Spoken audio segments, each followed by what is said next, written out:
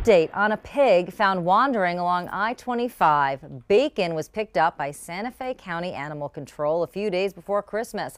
They've been looking for her owner ever since, and it turns out quite a few people saw the story and wanted to help. Got a little bit of a, a, cut in the ear. We treated that, and then we've been trying to find its owner, and haven't been able to find its owner. So, but we have had many people who are interested in her.